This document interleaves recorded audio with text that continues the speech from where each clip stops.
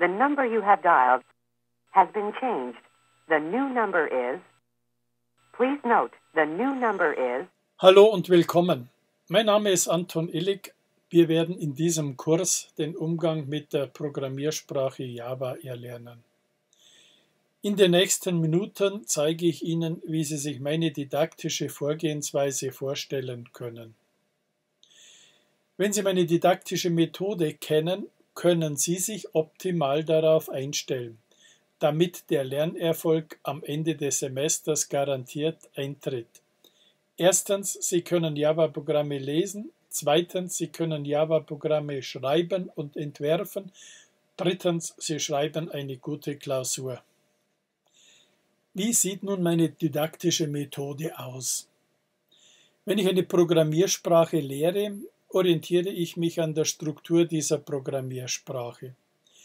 Die Kursfolge ist also nicht willkürlich zusammengestellt, sondern orientiert sich hauptsächlich an der Struktur der Programmiersprache. In diesem Fall natürlich Java. Manchmal müssen wir aber aus der Spur, aus der Kursfolge ausbrechen und uns mit etwas auseinandersetzen, das wir brauchen, um praktisch arbeiten zu können, um beispielsweise die Übungen zu machen. Dazu sind Anmerkungen, Tipps und Hinweise zur Programmentwicklungsumgebung notwendig. Programme, die Sie schreiben und lesen lernen, sind anfangs kurz, und werden immer länger. Ein kurzes Programm sieht beispielsweise wie folgt aus.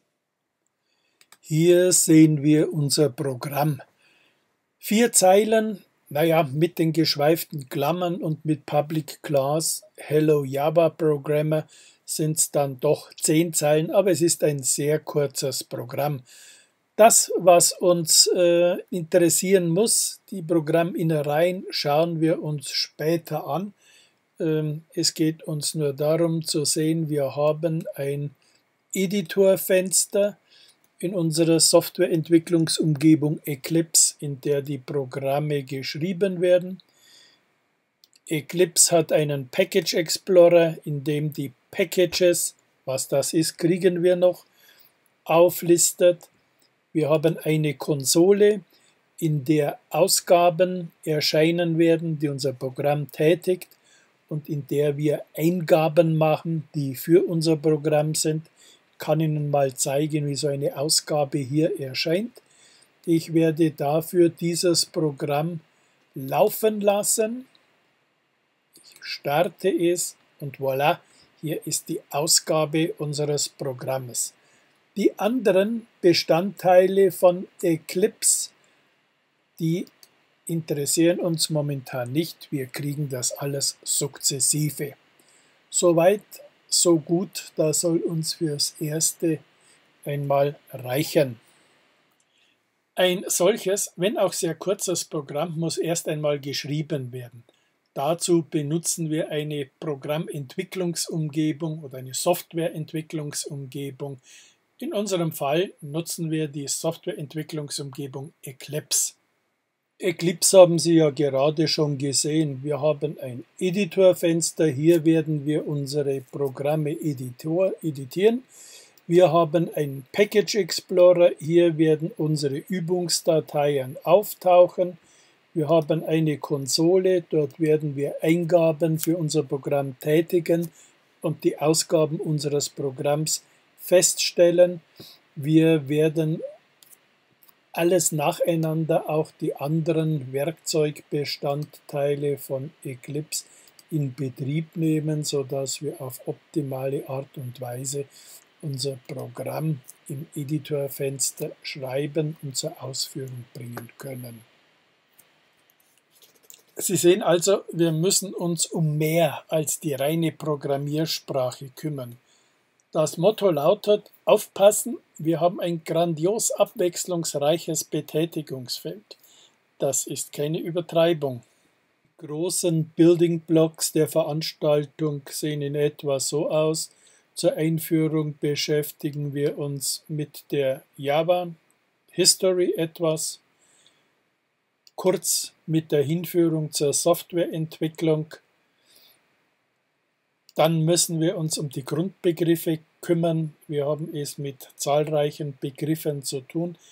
Sie werden feststellen, das ist für viele die Hauptherausforderung im ersten Semester, mit der neuen Begrifflichkeit zurechtzukommen.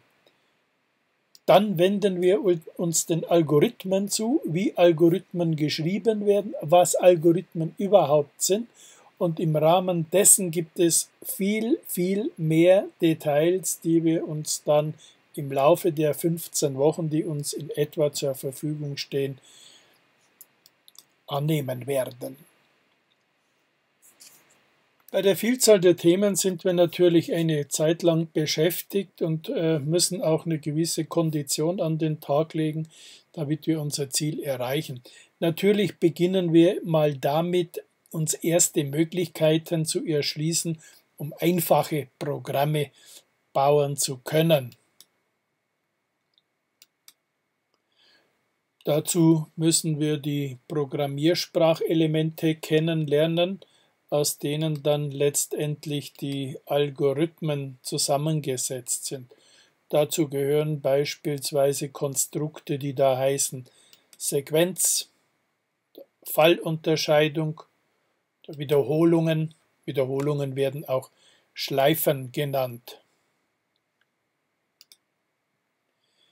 Wir müssen dann primitive Datentypen kennenlernen. Primitiv heißt einfache Datentypen, die eben nicht zusammengesetzt sind. Dann kommen zusammengesetzte Datentypen, die etwas komplexer sind, mit denen man aber mehr machen kann, wie mit einfachen, nicht zusammengesetzten, primitiven Datentypen. Und last but not least, wir müssen Operatoren kennenlernen, damit wir Daten miteinander verknüpfen können. Wenn wir das haben, müssen wir uns um weitere Möglichkeiten kümmern, sodass wir nicht nur einfache Programmgebilde verglichen mit einer Hundehütte bauen können, sondern anspruchsvolle Architekturen, wie wir sie im Häuserbau beispielsweise in den Metropolen dieser Welt entdecken können. Hochhäuser, da reichen einfache Möglichkeiten nicht mehr aus. Ähnliches gilt auch bei Programmen. Wir brauchen mehr. Dazu gehören Einausgabe von und auf Dateien, damit unsere Daten, die unser Programm einsammelt, nicht verloren gehen. Wir müssen uns insbesondere mit Methoden oder auch Funktionen auseinandersetzen. Darin ist die Dynamik unseres Programmes verborgen. Wir müssen uns mit Klassen auseinandersetzen. Dort werden die Daten, aber auch die Methoden gekapselt. Und last but not least müssen wir uns mit Ausnahmesituationen, auf die unser Programm stoßen kann, auseinandersetzen. Wenn wir mal so weit sind, dass wir uns mit Exceptions beschäftigen, sind wir praktisch schon am Semesterende angekommen. Wie kriegen wir all diese Themen, all diese Details in unsere Köpfe, fragen sich sicher einige unter Ihnen. Praktisch wäre natürlich, wenn es so etwas wie den Nürnberger Trichter gäbe. Tja, wenn. Eben, wäre natürlich furchtbar einfach, wenn es so einen Nürnberger Trichter gäbe. Aufgesetzt, Wissen eingefüllt, fertig.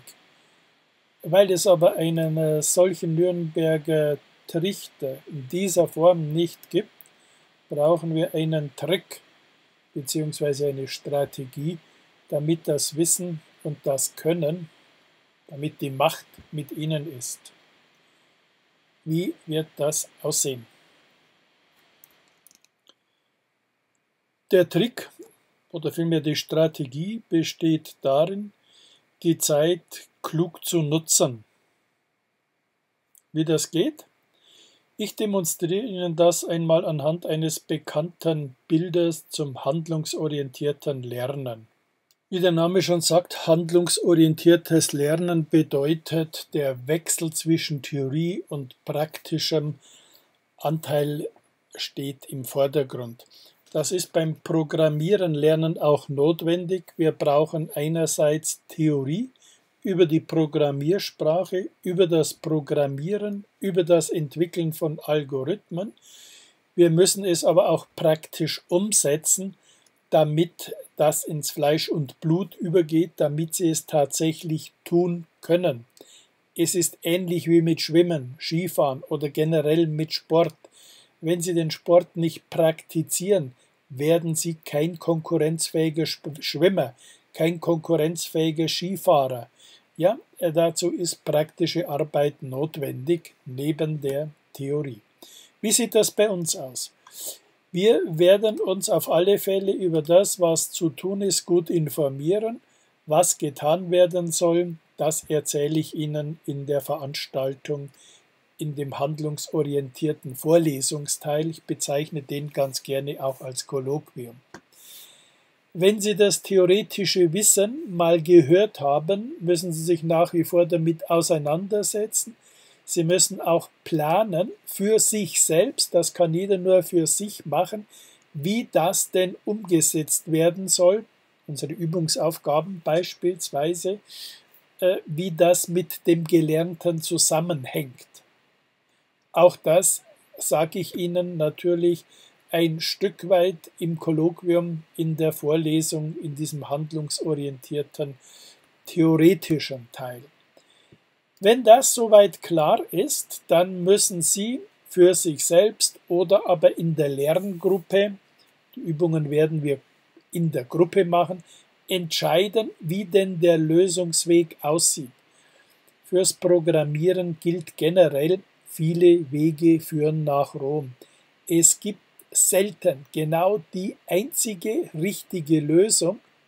Vielmehr werden Sie sehr schnell feststellen, es gibt mehrere Lösungswege. Hier überhaupt einen Lösungsweg zu finden, das wird am Anfang die Hauptschwierigkeit sein.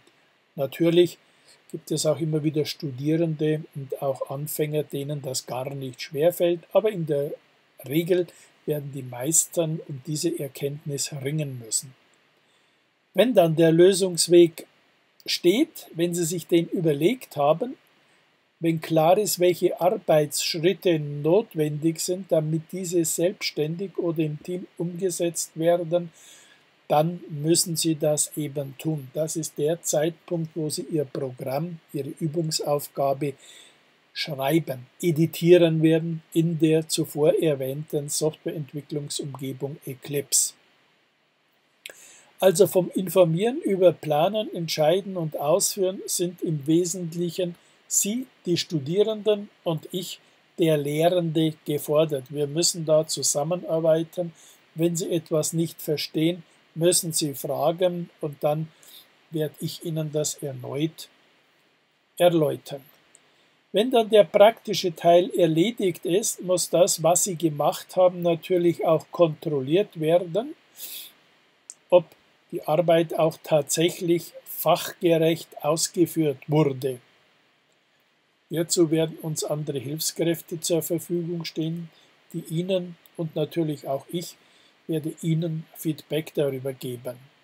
Und last but not least, zum Schluss muss das auch bewertet werden, was Sie gemacht haben. War es gut, war es sehr gut oder war es mäßig, vielleicht auch unbrauchbar. Kann natürlich passieren, dabei darf es aber nicht bleiben. Lassen Sie mich an dieser Stelle nochmals hervorheben, Ihr Erfolg wird ganz wesentlich davon abhängen, wie wir im Theorieteil zusammenarbeiten, wie Sie sich an die Fachsprache gewöhnen, wie Sie sich durch aktive Teilnahme, handlungsorientierte Teilnahme in die Veranstaltung einbringen und mir damit ein Feedback geben, ob alles sitzt oder ob etwas noch detaillierter oder auf andere Art und Weise erläutert werden muss. Dazu brauche ich Ihr Feedback in diesem Theorieteil. Lassen Sie mich nochmals kurz zusammenfassen, wie die Rollenverteilung bei diesem handlungsorientierten Modell aussieht, damit Sie wissen, wo Sie aktiv sein sollen, müssen sogar und wo es mehr um das Doing geht als die Lernschritte im Einzelnen und einige Rollen sind angetragen. Klar, ich werde Sie informieren, Ihnen den Wissensstoff vermitteln, ich werde Sie auch beim Planen unterstützen.